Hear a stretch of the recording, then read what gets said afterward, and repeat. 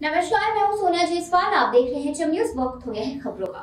बदलापुर से एक लड़की का अपहरण कर उसे पश्चिम बंगाल लेकर गए आरोपी को उल्लासनगर क्राइम ब्रांच की टीम ने हावड़ा जाकर गिरफ़्तार किया और अपहरण हुई लड़की को किडनैपर के कब्जे से मुक्त कराया। बता दें कि एस के रोजन एस के बुद्धू नामक युवक ने बदलापुर की एक लड़की को अपने प्रेम जाल में फंसाया। बीते 8 फरवरी को आरोपी ने लड़की को कल्याण स्टेशन बुलाकर उसका अपहरण कर अपने पश्चिम बंगाल ले गया। लड़की के परिजनों की शिकायत पर बदलापुर थाने में अपहरण का केस दर्ज हुआ। वहीं उल्लासनगर क्राइम ब्रांच ने इस मामले की तहकीकात शुरू की। क्राइम ब्रांच की टीम ने पश्चिम बंगाल के हावड़ा स्थित दानकुनी रेलवे पुलिस से संपर्क किया।